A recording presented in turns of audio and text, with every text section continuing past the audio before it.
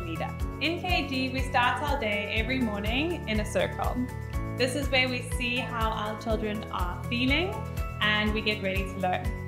We quickly set off into small group activities, which could be numeracy, literacy, or unit of inquiry based. This gives our students an opportunity to work in smaller groups in a one-on-one setting with their classroom teacher.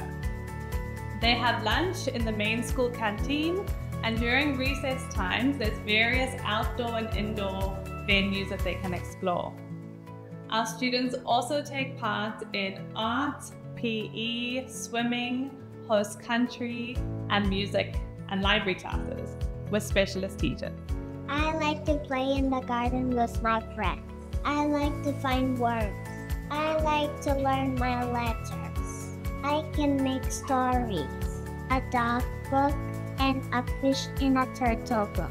I learned how to make a banana car go down the rim holding a banana. I have so much to say about the kindergarten program. First of all, my children came after a COVID experience, so I was looking for somewhere where they could learn as students, but also be part of a community and uh, really feel integrated with the school, and this was the perfect school for that. And the kindergarten experience at Ishmek is not just about their reading, their math, their numeracy. They're involved in after school activities.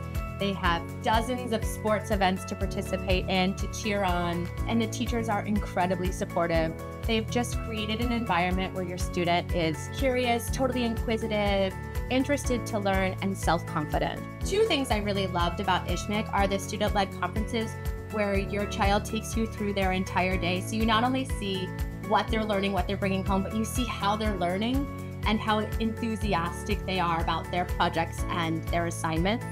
And another way that I really loved exploring what my children were, were doing at Ishmek is through the glass classes so that you would be able to sit in and observe how the teacher uh, was going about the lesson. And I really had no idea how creative our teachers are until I sat in and was able to see the beauty of, uh, of an Ishmek school day.